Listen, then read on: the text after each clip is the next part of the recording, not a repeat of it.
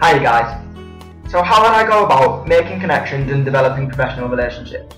Well, first of all, I am a performing arts student, so confidence is something that I'm not sure of.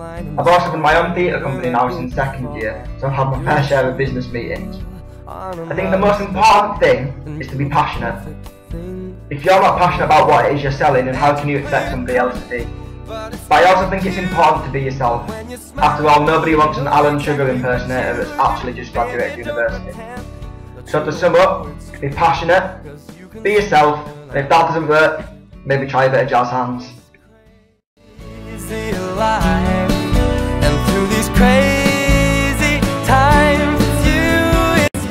So, being a student union sabbatical does have its responsibilities and pressures.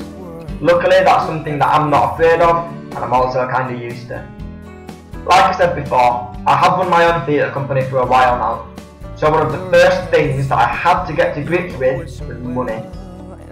I've had to learn to scrutinise my own finances and work on a small, sometimes minuscule budget to make sure that I don't get into debt. I've also had to have a working knowledge of law, mainly around theatre and business, I will keep researching and make sure that I have all the knowledge to be the best possible candidate for your representation on sabbatical. And you know that's what all love can do. In this crazy. Well, if I'm elected, one of the most important things to me is making sure that every student knows who their sabbaticals are.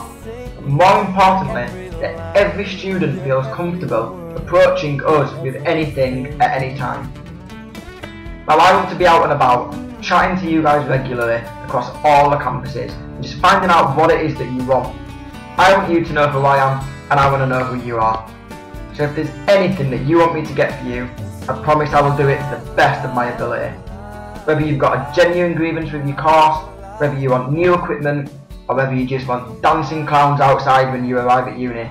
If it's possible, I'll get it for you. And in this crazy life, and through these crazy times, it's you, it's you. The student union sabbatical roles are very important, and as such, I think that anybody that does these roles should be open to scrutiny. Now, I don't have a problem with that. In fact, I welcome constructive criticism, and if I'm elected, I'll gladly take on board any suggestions you have on how I can do my job better.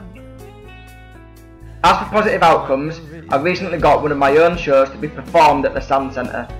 This took a lot of determination, months of planning, and but more importantly, a never say die attitude. And it's this attitude that I want to bring to the sabbatical role. So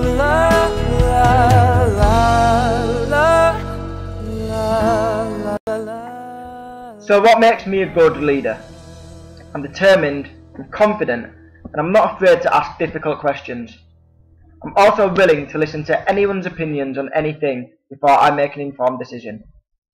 In the past, I've led college councils, I've chaired debates, and I've also had the privilege to interview actual politicians. This shows I'm not afraid to ask difficult questions, and also I don't mind asking tricky questions with my own superiors. You're a falling star. You're the getaway car. You're the line in the sand when I go too far. You're the swimming pool. Passionate, determined, and approachable. thing to say. And you play it coy, but it's kinda cute.